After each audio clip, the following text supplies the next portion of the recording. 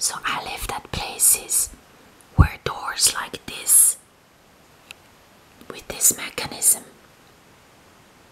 were existing.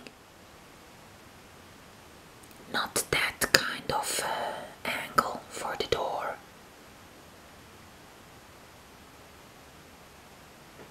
But almost the same, you know, a wooden door.